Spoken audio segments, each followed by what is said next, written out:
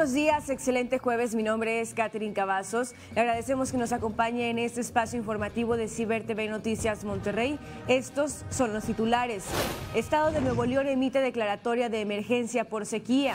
Identifican cuerpos de dos personas encontradas en las fosas en el municipio de Escobedo. Se trata de una joven y expareja. Emite Protección Civil recomendaciones ante las bajas temperaturas por el Frente Frío número 28. Mientras tanto, en Durango se registra la caída de nieve y aguanieve en zonas altas por la quinta tormenta invernal de la temporada. En Santiago de Chile difunden imágenes del momento en el que un trailero atropella a ladrones que intentaron robarle su camión. Le platicaremos de esto y mucho más adelante en este espacio informativo. Mientras tanto, vamos con mi compañera Yuli Castillo que nos tiene un avance del pronóstico meteorológico.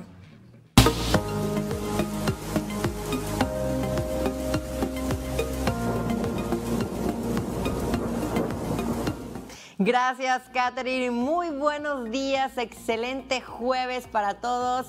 Si no ha salido de casa, le comento, abríguese muy bien porque como ya estaba pronosticado este ambiente, pues bastante fresco, la temperatura máxima para esta jornada se estima que esté alcanzando los 12 grados centígrados, un cielo mayormente nublado. El pronóstico de precipitación se encuentra vigente en un 20%, es bastante bajo, pero no se descarta en algunas zonas del área metropolitana. Se pueden presentar ligeras lloviznas, la humedad relativa en un 66% y en el transcurso de la noche, ojo, va a ir bajando la temperatura conforme vayan pasando las horas, marcando los 4 a los 5 grados centígrados a las 22 horas. Yo regreso más adelante con el reporte completo, continúe con nosotros.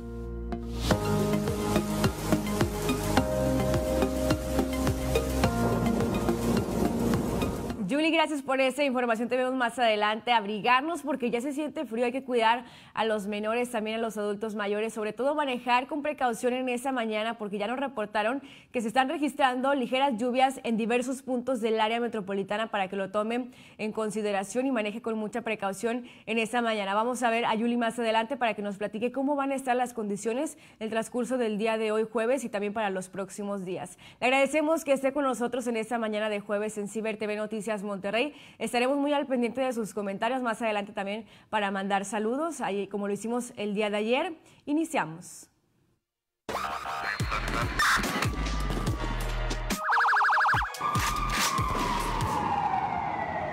Continuamos con más y en este momento me enlazo con mi compañero Marcial Pasarón. Él nos tiene información importante sobre lo que ha ocurrido en las últimas horas en el estado de Nuevo León y por supuesto dándole seguimiento a lo que ya le hemos estado platicando anteriormente y es que encontraron primero ocho cuerpos en unas canchas de fútbol, eso en el municipio de Escobedo, después fueron diez cuerpos y ahora ya mencionan que identificaron a dos de estos diez cuerpos. ¿Tú nos tienes más información, Marcial?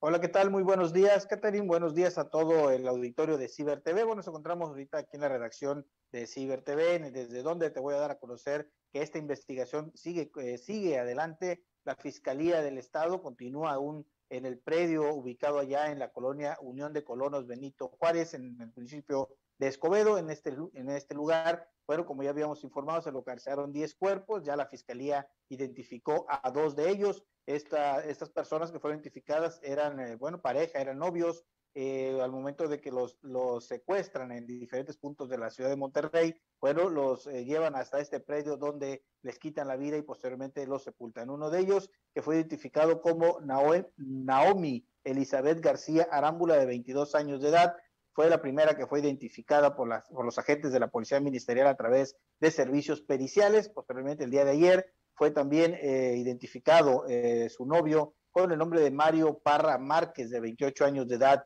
Este último desapareció el día 16 de enero de este año y ella fue secuestrada el pasado 15 de enero, un día, un día antes que su novio, en las calles de la colonia El Jaral, en el municipio de El Carmen, Nuevo León. Bueno, todavía se extendió, extendieron más, eh, más hectáreas, más metros de investigación aquí en este predio localizado en el municipio de Escobedo. Todavía se encuentran en ese sitio elementos de la Agencia Estatal de Investigaciones. Hasta el momento, te repito, solamente dos de las diez personas que fueron localizadas sepultadas clandestinamente en estas fosas ha sido identificado, pero la policía ministerial eh, aún continúa con estas pesquisas para tratar de establecer la identidad de los ocho restantes que fueron encontrados en este lugar. Bueno, hasta el momento esto es lo más importante, el seguimiento de este caso que ha, bueno, llamado mucho la atención de la ciudad allá en el municipio de Escobedo. Así es, Marcial, gracias por esa información, que tengas muy buenos días. Hasta luego, muy buenos días. Gracias. Eso es lo que está ocurriendo en el municipio de Escobedo y por supuesto, si llegan a salir más datos importantes, relevantes sobre esta información, le estaremos platicando. Continuamos con más.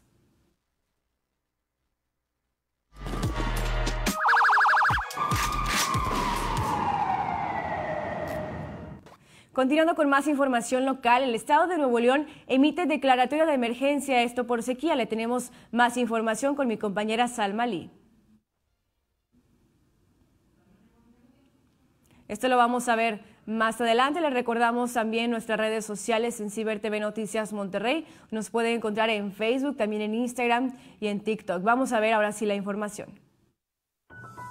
Ante el bajo nivel de agua en las presas de la entidad, el gobierno de Nuevo León emitió la declaratoria de emergencia por sequía, horas después de que el Congreso local aprobara por unanimidad solicitarlo al gobierno federal. La declaratoria fue publicada en el periódico oficial del Estado donde refiere que la presa Cerro Prieto tiene un 9.88, la presa La Boca un 25.28 y la presa El Cuchillo un 53.98 de almacenamiento.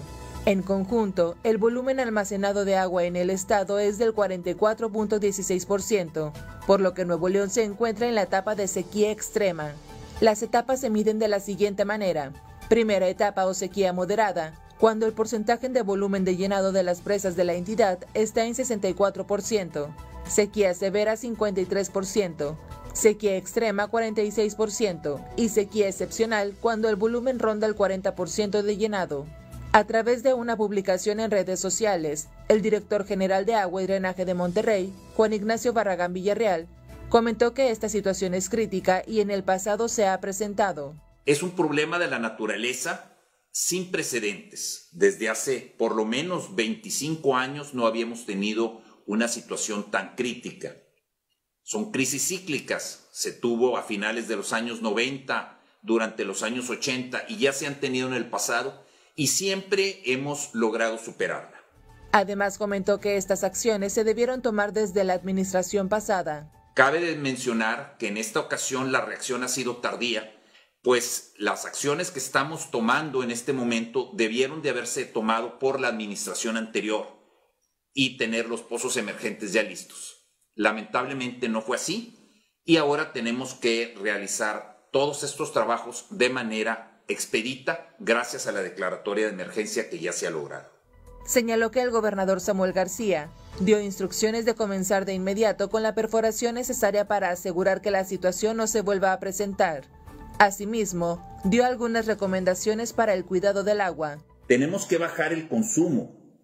En nuestra regadera, al momento de bañarnos, tenemos que bañarnos en menos de cinco minutos. Cuidar el riego, no regar banquetas, no lavar los autos con manguera, ahorrar cuando usemos la lavadora y otras medidas que son sencillas y que nos permitirán garantizar el abasto. Y sobre todo, ayúdenos denunciando a quien tire el agua, a quien regue banquetas, a quien lave el auto con manguera. Esto nos va a ayudar a que todo mundo tomemos conciencia de nuestra responsabilidad social. Para Ciber TV Noticias Monterrey, Salma Lee.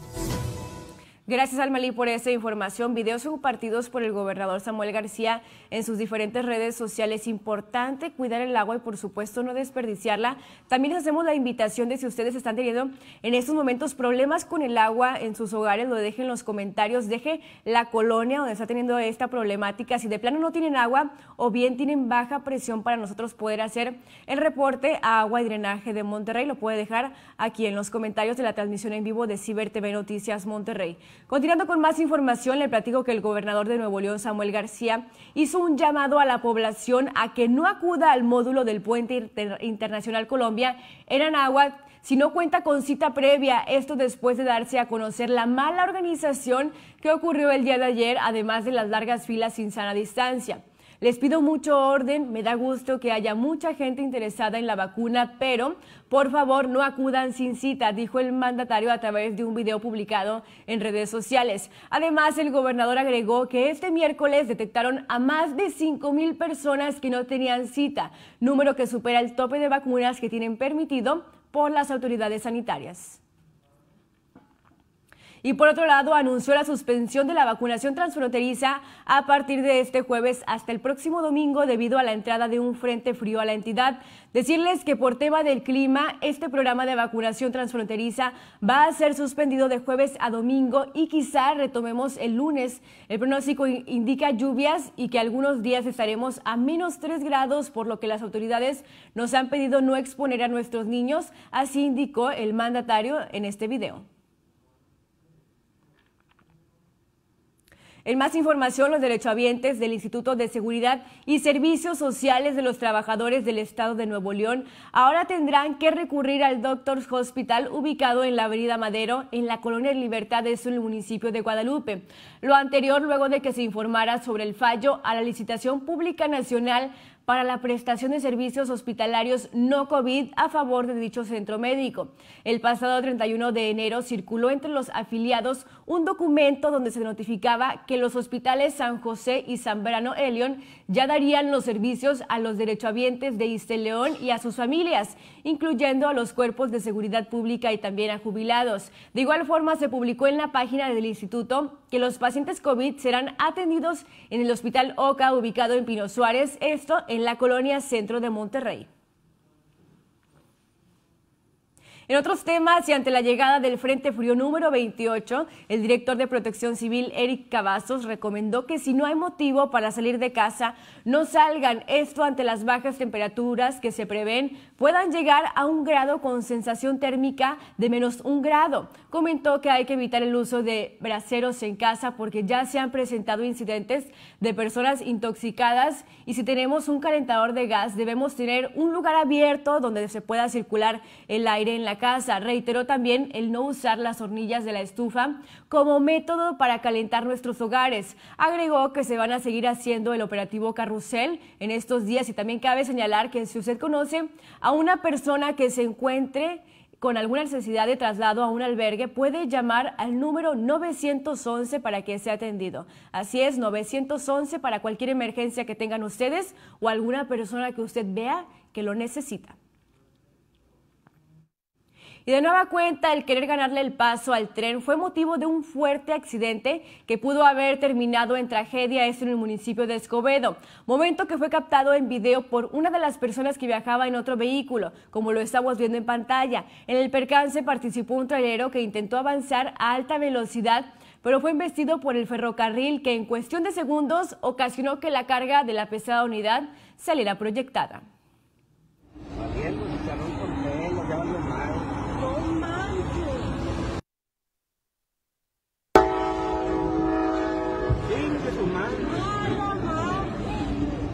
Hay las imágenes y por supuesto la importancia de tener precaución cuando vamos a manejar y si vemos que ya viene el tren, pues bueno, es mejor esperarnos que tener alguna tragedia. Ahora vamos a cambiar de información y vamos con mi compañera Julie Castillo, que ya nos tiene un avance del pronóstico meteorológico. La información completa.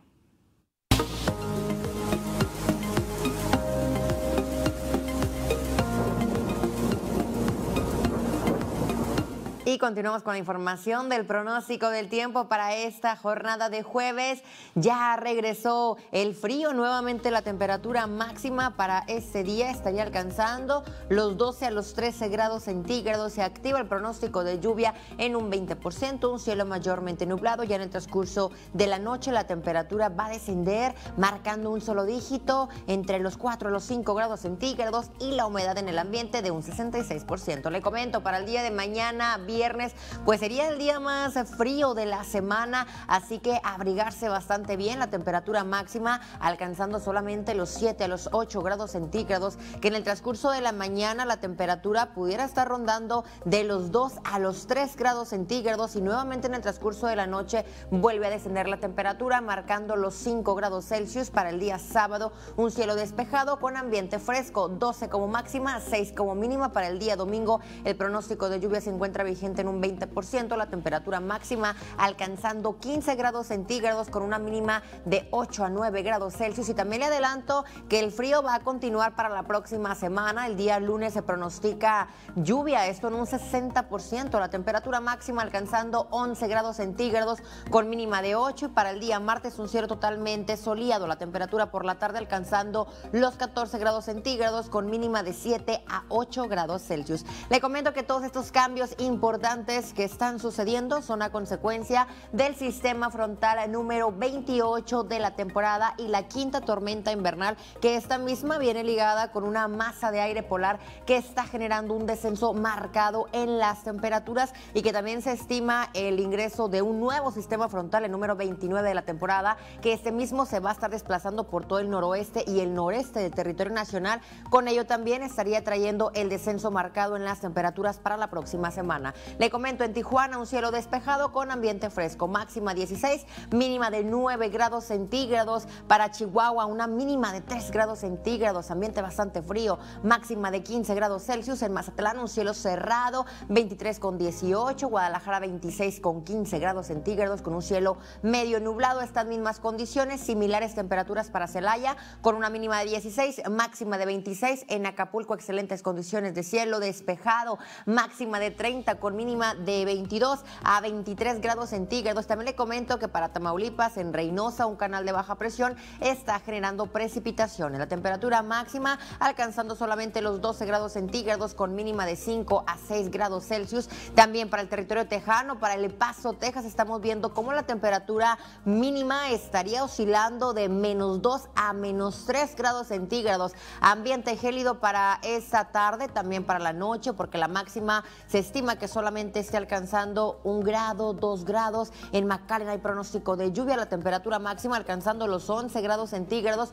con mínima de 5 a 6 grados Celsius. En Veracruz, un cielo mayormente nublado con máxima de 30, mínima de 23. Disminuye la probabilidad de precipitación para esta jornada, pero para los próximos días se activa. En Tuxtla Gutiérrez, un cielo despejado. También para Cancún, con máximas de 29 a 33, mínima de 21 a 25. Y ya por último le informo que para Mérida hay excelentes condiciones de cielo, medio nublado, con temperatura calurosa para esta tarde, alcanzando 35 grados centígrados y con mínimas que oscilan de los 25 a los 27 grados Celsius. Hasta aquí los detalles del pronóstico del tiempo. Cuídese mucho, yo lo veo el día de mañana.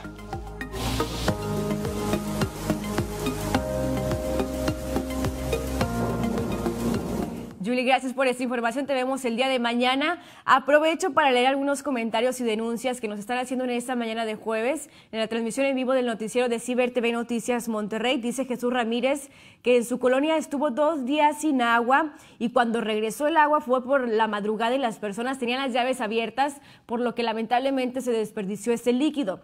Por otro lado, dice Jorge de la Mora, en cumbres baja presión y en algunos sectores sin agua. Y Yasmín Martínez dice ampliación Lázaro Cárdenas en Escobedo, baja presión desde hace una semana. Si ustedes tienen denuncias, algunos comentarios, puede dejarlo aquí en esta transmisión en vivo y nosotros para poder mandar el reporte a Agua y Drenaje de Monterrey. Cambiando completamente de información, ahora en temas nacionales le platico que ayer por la tarde comenzó a registrarse la caída de nieve y también de aguanieve en zonas altas de Durango debido a la llegada del Frente Frío número 28 de la quinta tormenta invernal de la temporada. De acuerdo con la Unidad de Protección Civil Estatal, comunidades serranas de los municipios de Guanaceví, Tamazula y también Tepehuanes son las más afectadas debido a la caída de nieve. Autoridades municipales alistaron los programas de atención a la población de zonas vulnerables debido a las temperaturas de hasta 10 grados bajo cero en toda la región, además también del viento y de las lluvias heladas.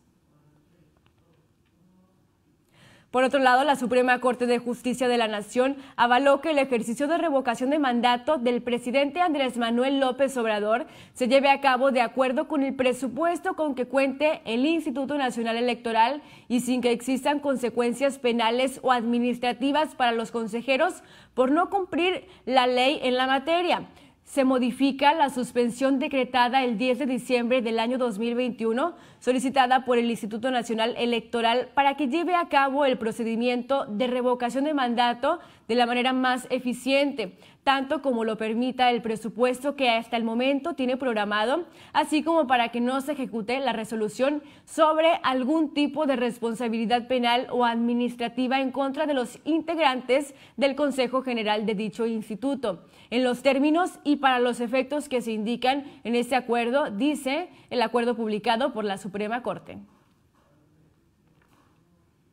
Y continuando con más información nacional, le platico que militares de Canadá y también de Francia se reunieron ayer a puerta cerrada con miembros del ejército mexicano y de Bélice en Tutemal a fin de coordinar estrategias e intercambiar información en materia de seguridad pública. La Secretaría de Marina fue la anfitriona de esta reunión en la que dijo trataron temas de seguridad en dicha zona ante la violencia registrada en los últimos días y que han perdido la vida visitantes extranjeros. Esto a 11 días del asesinato de dos canadienses, presuntos miembros de bandas delincuenciales, por una supuesta deuda por compraventa de droga en el Hotel Escaret. Poco después del crimen, el gobernador de Quintana Roo, Carlos Joaquín González, anunció que iban a llegar cuerpos de seguridad y corporaciones policíacas de Canadá y Estados Unidos a la entidad. Sin embargo, más tarde aseguró que se había tratado de una mala interpretación. Y en otros temas, este viernes 4 de febrero, la exsecretaria de Desarrollo Social, Rosario N., comparecerá una vez más ante el juez de control del Reclusorio Sur, Gánter Alejandro Villar, para acatar la orden de un tribunal federal que ordenó revisar si ya prescribió o no el delito por el cual permanece en prisión preventiva justificada. El pasado 20 de enero, los magistrados del noveno tribunal de la Ciudad de México resolvieron que los derechos constitucionales de Rosario N fueron presuntamente violados porque el juez no atendió la solicitud de analizar la vigencia de este delito de uso indebido de atribuciones y facultades por el cual la FGR presentó acusación en su contra. Y en más, la Fiscalía de la Ciudad de México presentó dos nuevas solicitudes de extradición contra Andrés Roemer y le tenemos, por supuesto, más información. Otras dos solicitudes de extradición fueron presentadas este miércoles en contra de Andrés Roemer, por lo que el exdiplomático suma un total de cinco peticiones. La Fiscalía General de Justicia de la Ciudad de México presentó a la Fiscalía General de la República y a la Secretaría de Relaciones Exteriores estas nuevas solicitudes en contra del escritor, sobre quien pesan tres órdenes de aprehensión por violación y abuso sexual.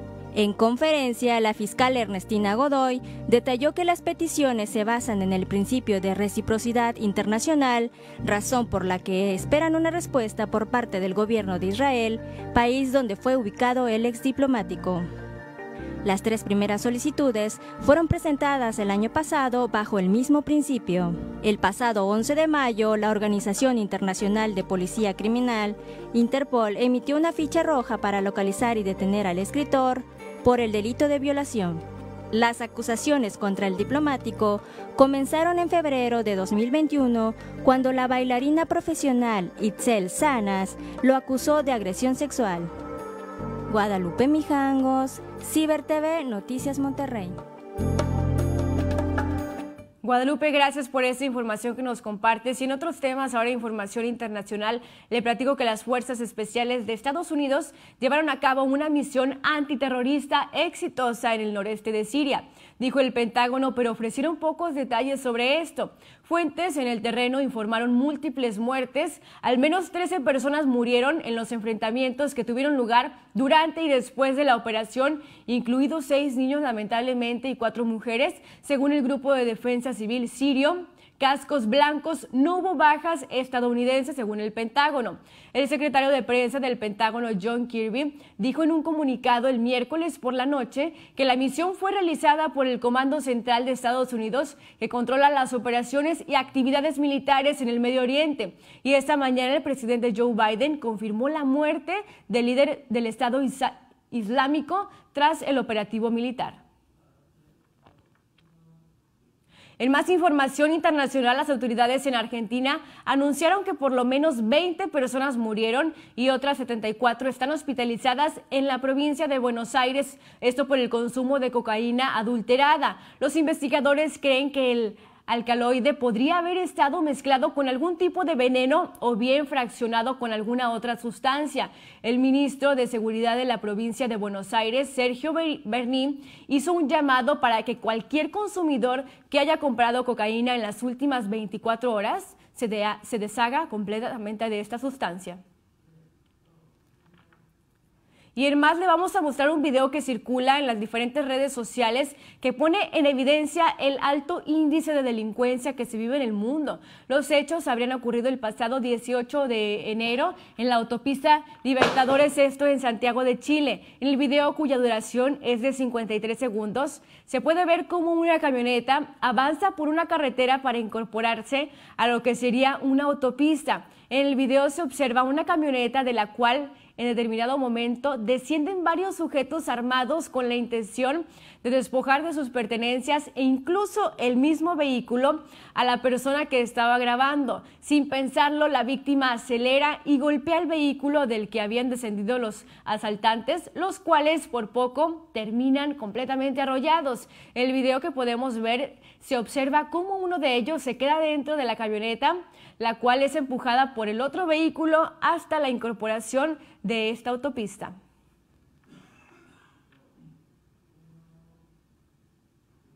Y en más información, el corte y desprendimiento de un cable eléctrico del alumbrado público cuando la lluvia arreciaba ah, sobre un mercado de Kinshasa causó la muerte de 26 personas al ser electrocutadas, según confirmaron las autoridades de la capital de la República Democrática del Congo. Según recogen medios locales, la inmensa mayoría de víctimas del accidente eran vendedoras que trabajaban en este mercado. Estamos estábamos hacinados en una iglesia de la plaza a la espera de que terminara la lluvia y de pronto vimos la llama y gritamos. Cuando salimos, todos los que venden en esta avenida estaban tirados en el piso sin vida, fue lo que explicó un testigo de los hechos. Muy lamentable. Ahora cambiando completamente de información, vamos con mi compañera Carla Homosigo para que nos muestre cuáles son los videos más virales en las redes sociales de este jueves. Buenos días, Carla.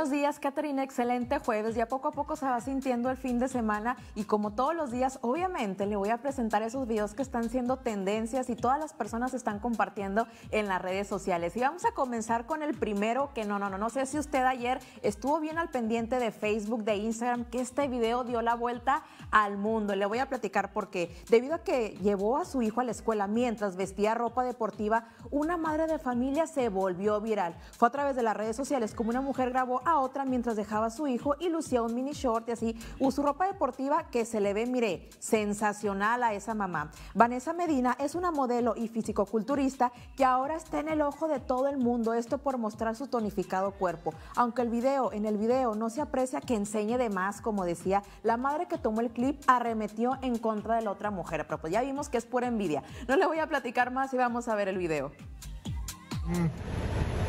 Mira tu pulito. Mira esa hija. En esos momentos que te ganas de cambiarlo del colegio a tu hijo, ¿no? Por, por gente como esa me da ganas de cambiarlo del colegio. ¿Qué y seguimos con otro video que usted sabe que lo que pasa en México siempre se vuelve viral. Y le voy a platicar la historia detrás de este video. Le voy a comentar que en plena azotea, unos jóvenes recrearon el icónico video de la canción Get Back de los Beatles en Puebla. En Twitter se viralizó el video donde un grupo de jóvenes salieron a la azotea de su casa y tocaron el éxito de la banda europea. Algunas personas acudieron a verlos y grabaron el momento épico y ahora los usuarios de las redes los llaman los Beatles poblanos. Vamos a ver aquí el video.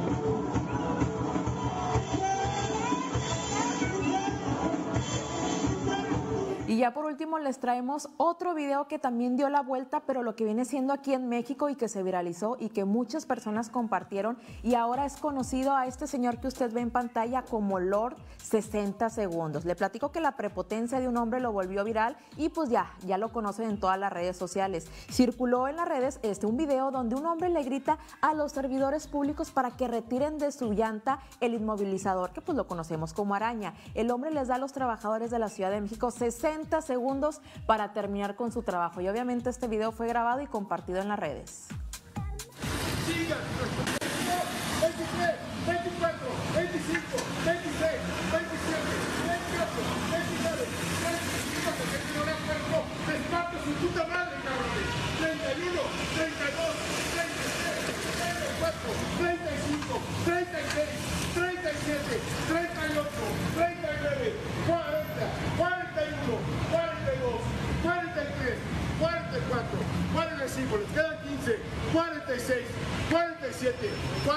Siga,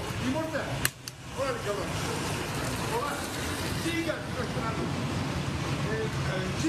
siga.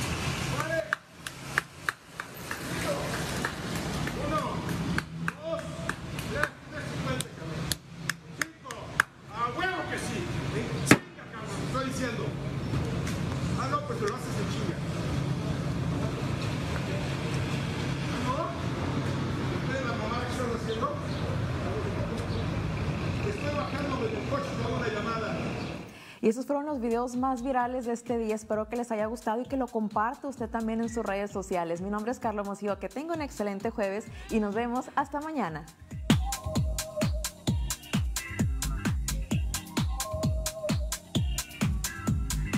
Carla, gracias por esa información, que tengas un excelente día y como tú lo dices, te vemos el día de mañana. Quiero aprovechar, nuestro compañero Marcial Pasarón en la transmisión nos dejó unos comentarios muy importantes. Él dice, precaución, choque en el cruce de carretera Santa Rosa y Avenida Concordia, esto en el municipio de Apodaca. Por otro lado, el municipio de Suazua dice que hay una movilización por localización de un hombre sin vida en la carretera a la ex Hacienda San Pedro, como ya le mencioné en el municipio de Suaza, para que lo tome en consideración y tenga mucha precaución. Quiero mandar un saludo a Montserrat Ansaldo, que nos está viendo en esta mañana, y también a David Gaona González, que el día de hoy está de manteles largos. Muchísimas felicidades y que disfrute al máximo su día. Ahora sí, continuamos con más información. Le vamos a adelantar un fragmento de lo que ustedes van a poder ver más adelante terminando este espacio informativo, porque nuestra compañera Nayeli Peña habla con un endocrinólogo sobre la tiroides. Y queríamos preguntarle también, endocrinólogo, acerca de a partir de qué edad más o menos uno puede padecer la tiroides o bienes por herencia, en particular, ¿a qué se debe? Bueno, esa pregunta me la hacen muy seguido en la consulta. Muchas veces es difícil de contestar debido a que es el por qué me dio a mí.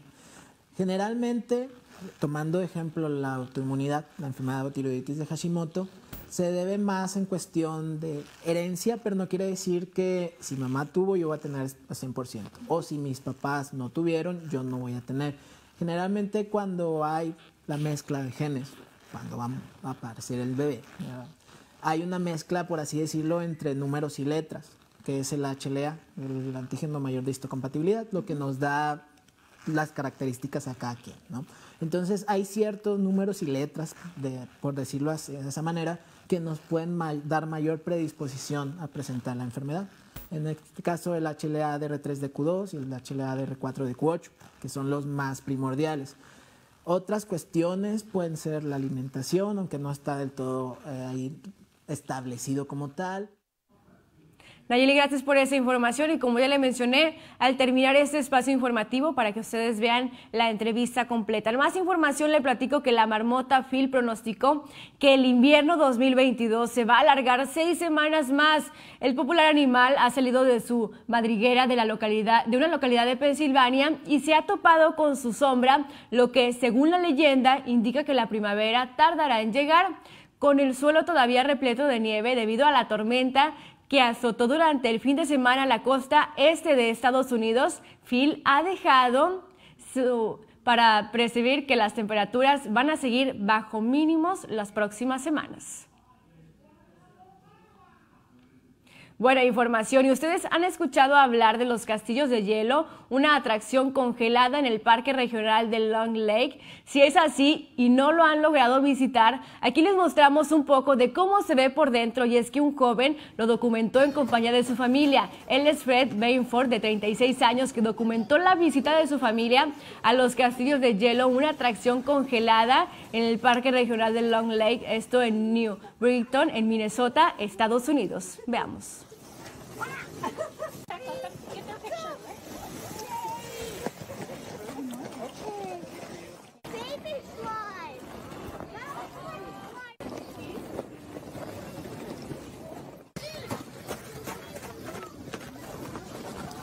Arms up.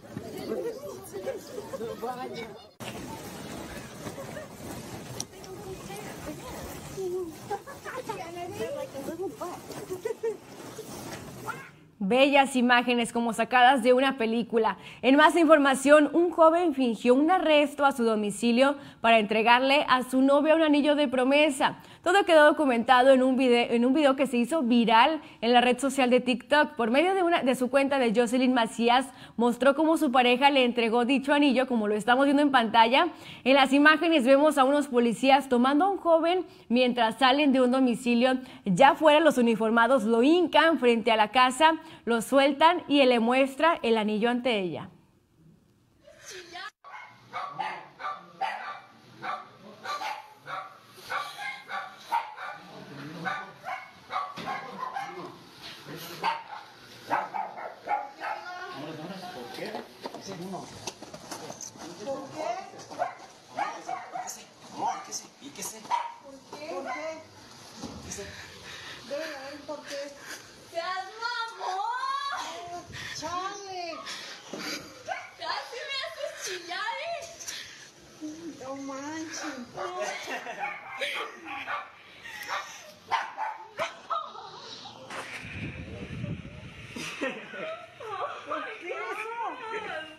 Ahí las imágenes, bueno, ella muy sorprendida por lo que estaba haciendo su novio. Oye, ¿y cómo los policías se prestaron para hacer esto, verdad? Pero bueno, cambiando completamente de información, vamos a conocer los temas deportivos con mi compañero Rafa Martínez. Buenos días, Rafa. Vamos contigo del otro lado del estudio. Buenos días.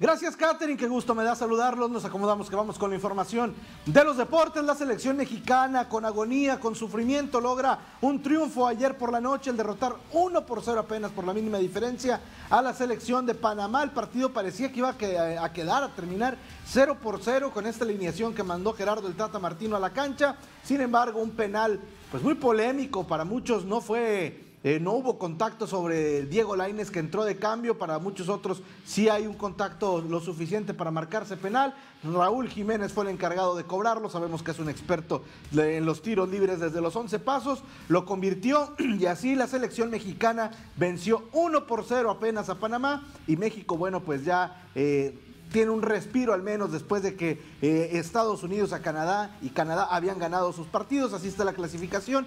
Canadá con 25 puntos, prácticamente con boleto y medio para el Mundial. Estados Unidos en segundo lugar con 21 mismos puntos tiene México en tercer lugar y Panamá quedó rezagado con 17 en la cuarta posición. Quienes se acercaron fue Costa Rica que llegó a 16 puntos, se pone a uno de Panamá en la busca de un lugar en el repechaje después de estos resultados donde Canadá le pegó 2 por 0 a El Salvador, el equipo de Estados Unidos hizo lo propio al vencer 3 por 0 a Honduras y Costa Rica de visita con gol del rayado Joe Campbell le pegó 1 por 0 a la selección de Jamaica.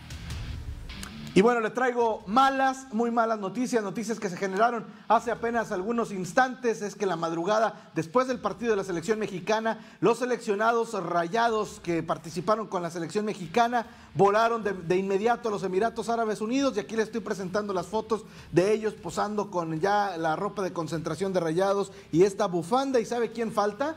Uno, dos, tres. Hay tres fotos. Eh, el caso de Moreno ya había viajado. Eran cinco. ¿Quién falta? César Montes, descartado, dio positivo de COVID esta madrugada antes de abordar el avión. Se le realizó la prueba PCR y salió positivo. ¿Por qué jugó el partido de la selección mexicana? Dirá usted, bueno, porque le hicieron una prueba de antígenos, la cual resultó negativa, pero después del partido, ya para abordar el avión, le hicieron la prueba PCR y ahí arrojó resultado positivo. César Montes está descartado, baja sensible, dolorosa para el equipo de los Rayados del Monterrey. Y bueno, pues quien ya está trabajando allá, pues es el resto de la delegación rayada que están eh, ya con miras al compromiso que tendrán el próximo sábado 10.30 de la mañana. Por cierto, hoy arranca el Mundial de Clubes porque, si usted no lo sabe, hay una fase previa a la fase de los Rayados del Monterrey de su primer partido, que es la segunda ronda. En esta primera ronda hay un encuentro que se estará jugando a las 10.30 de la mañana. Este partido que pues buscará el eh, combinado de el Al, Jazeera enfrentar al Pirae. Ahí el ganador estará avanzando a la segunda ronda. Con esto se abre el Mundial de Clubes hoy a las 10.30 de la mañana. Y bueno, pues también el caso de Dubán Vergara, que pues él mismo subió a sus redes sociales esta imagen, esta fotografía, donde agradece a Dios de que todo salió bien en la cirugía que se le le realizó en la rodilla que lo dejó fuera, descartado del Mundial después de que tuvo una lesión con el equipo del Monterrey en el último partido previo ya al viaje que tendrían a los Emiratos Árabes Unidos. Ahí vemos a Dubán Vergara con su gorrito de los Rayados del Monterrey, recién operado, todo bien. Ahora sí, esperarse siete meses para regresar a las canchas porque entre las terapias y la rehabilitación, pues es un proceso bastante largo. Fuerza para Dubán Vergara que pues ahí al menos nos comparte esta imagen. Y vámonos con lo que sucede con el equipo de Tigres, porque los felinos pues se siguen eh, preparando también. Ya terminó la fecha FIFA este fin de semana, hay actividad de nueva cuenta de la Liga MX y, se le cuestionó también a este hombre que recién llegó al equipo de Tigres. Hablamos de Jefferson Sotelo, llegó ayer por la noche a la ciudad de Monterrey para eh, ya incorporarse y el día de hoy estar trabajando ya de lleno con el cuerpo técnico, con sus nuevos compañeros. Ya realizó los exámenes físicos y médicos eh, con la selección venezolana, entonces hay probabilidades que pueda jugar, al menos eso se le cuestionó. ¿Qué fue lo que dijo al respecto? Vamos a escucharlo. No, verdad, un reto muy lindo. Creo que fue muy fácil a la hora de, que se dio la propuesta y nada. Creo que vengo acá con mucha ilusión, con, con ganas, con, de ver todo lo que hay acá, el equipo, los jugadores, la afición, el entrenador. Creo que es un buen lugar para, para hacer cosas lindas. ¿Cómo te defines con la afición? La afición platícale cómo, cómo, te defines como jugador, qué puedes aportar a ti. Nada, de verdad, para mí lo primero es eh, los goles, asistencias, eh, alegría. Lo más, lo más importante para mí es poder regalarle títulos y yo creo que lo que más importa aquí también es poder ganar el clásico, ¿no? Está para jugar el domingo, jugar el domingo. Y Toronto, ¿qué significa Tigres para ti en lo personal? Eh, para mí, jugar con, eso, con, los jugadores que hay acá, con, ese técnico, para mí iba a ser un reto, como te dije, muy importante. Y creo que tengo que agarrar de la mejor manera y pensar que, que puedo ganar cosas buenas acá y nada, y sumar más, más, más, como te digo, mucha más confianza y más experiencia porque apenas tengo 24 años. Ahí en las palabras del venezolano a su llegada a la ciudad de Monterrey para incorporarse rápidamente al equipo de los Tigres. Y bueno, quien también regresó, no a la ciudad de Monterrey, pero sí al fútbol mexicano, a nuestro país, es eh, José Juan Macías, que ya fue registrado con el Guadalajara después de un paso que tuvo pues muy breve en el fútbol europeo en España con el Getafe, donde jugó muy poco y prácticamente no, no pudo demostrar el nivel que lo llevó allá. Bueno, pues ya está de regreso, será jugador de Chivas por lo menos este semestre, buscó la oportunidad de seguir en Europa, no pudo cerrar ningún, ninguna propuesta que tenía, también se hablaba que podría llegar a la MLS, pero es en el Guadalajara donde recae después de que el conjunto de eh, Guadalajara lo hizo oficial a través de este comunicado. Así que Juan José, eh, o José Juan más bien Macías, regresa de nueva cuenta a la Liga MX para defender los colores de las Chivas. Y bueno, pues déjame le platico también lo que sucede con el Palmeiras, que ya viajó hacia Emiratos Árabes Unidos, donde tendrá participación. Lo va a hacer con mucho tiempo de anticipación. Ya está Palmeiras en Abu Dhabi y fue eh, despedido por una cantidad impresionante de aficionados, como lo podemos estar viendo en las imágenes. Hay un entusiasmo muy grande de la afición después de que eh, perdieran en el Mundial pasado contra Tigres y no pudieran ganar ni el tercer lugar. Bueno, pues ahora el Palmeiras va en un mood diferente, va a ser competitivo, va a llegar con mucho tiempo. Cuando jugó contra Tigres llegó dos días antes del partido, hoy llega pues prácticamente una semana antes para el compromiso que tendrá en semifinales.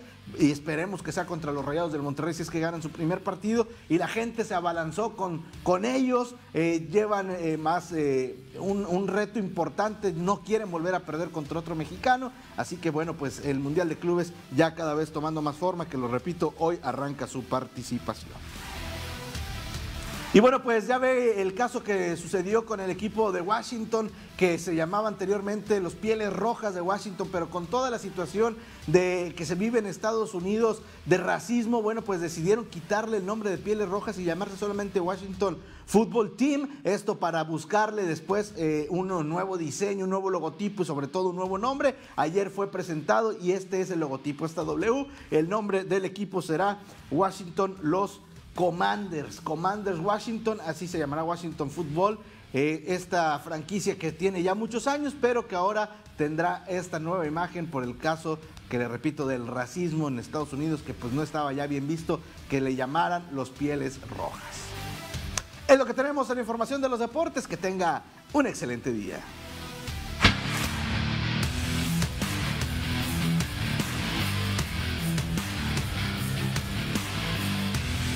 Rafa, muchas gracias, que tengas un excelente día. Y cambiando completamente de información, ¿saben ustedes qué es el metaverso? Nuestro compañero Daniel Rodríguez nos tiene toda la información de este término, además también los avances tecnológicos que se están llevando a cabo para hacer realidad este concepto virtual. Una de las tendencias tecnológicas de las que más se habla actualmente es el metaverso término que ha sido utilizado en varias obras literarias y cinematográficas, dejando la intriga a los espectadores de que sea un concepto materializable. La palabra metaverso es la composición del término meta, que significa más allá, y verso, de universo, por lo que se puede traducir como más allá del universo. Se trata de un concepto en el que se está gestando la siguiente generación del Internet y que cambiará por completo.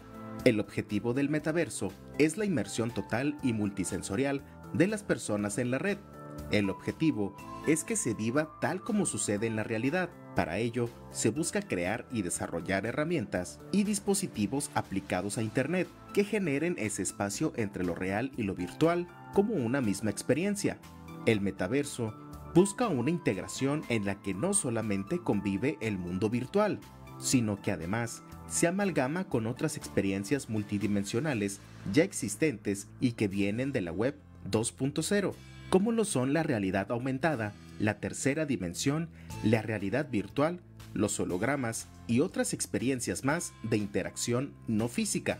Cada día hay más usos conocidos en el mundo de los metaversos que están siendo aplicados. Actualmente se emplean el entretenimiento, la educación a distancia o la telemedicina pero con gran fuerza se ha ido incorporando en el mundo de la economía digital y descentralizada. Para CiberTV, Daniel Rodríguez. Muy interesante. Gracias, Daniel Rodríguez, por esta información. Ahora vamos a conocer los temas del mundo del espectáculo con mi compañero Alfonso Pérez. Buenos días, Alfonso.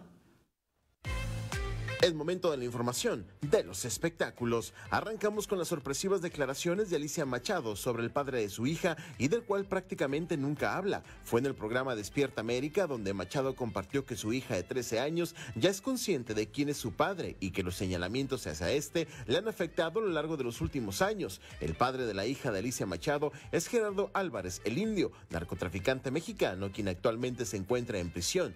La ex reina de belleza dejó claro que aunque el público la sigue siga señalando por esta razón, ella defenderá aún más a su hija.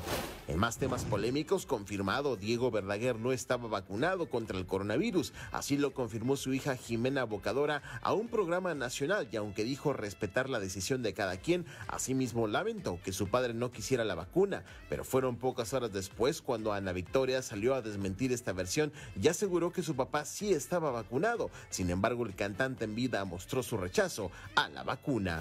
Ahora vámonos con Salma Hayek y es que la mexicana saldrá en uno de los tan esperados comerciales que sean transmitidos el fin de semana del Super Bowl. Así lo confirmó la mexicana a través de sus redes sociales. El comercial es para la famosa marca de coches BMW y en este saldrá acompañada de Arnold Schwarzenegger. Finalmente cerramos con información de Chesley Chris, Miss USA 2019, quien murió hace algunos días al lanzarse del edificio donde vivía en Nueva York. Y es que este miércoles la madre de la reina de belleza confirmó que la joven estaba luchando contra una fuerte depresión que finalmente la llevó a tomar esta decisión. A través de un comunicado, la madre de Chelsea dijo, efectivamente mi hija estuvo luchando contra una muy profunda depresión, la cual escondió a todo mundo, incluyendo a su familia. Nos dimos cuenta pocos días antes de su muerte. Hoy solo queremos recordar el lado positivo que nos dejó mi hija amada. Esta fue la información de los espectáculos para Ciber TV, Alfonso Pérez.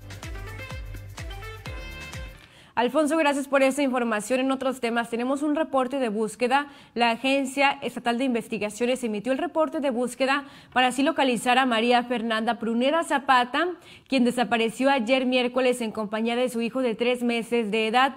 La joven de 19 años de edad fue vista por última ocasión en la colonia Valle Sur, esto en el municipio de Juárez, Nuevo León. Iba acompañada de su hijo Liam Alexis Prunera Zapata. Como características, María Fernanda tiene cabello lacio, corto y castaño. Es de tez blanca, delgada y mide un metro con 50 centímetros. Cuenta con diferentes tatuajes, uno en forma de cruz en la muñeca izquierda, una rosa en el brazo izquierdo, en el brazo derecho tiene el nombre de Lucía y en el pecho arriba del busto tiene unas alas de ángel, además de una cicatriz de cesárea. Si cuenta usted con alguna información que ayude a dar con el paradero de ambas personas, favor de comunicarse a los siguientes números que le voy a mencionar. El primero es el 81 20 20 5700 y el siguiente es el 81 20 20 55 58. Se los voy a mencionar. El primer número es el 81 20 20 5700.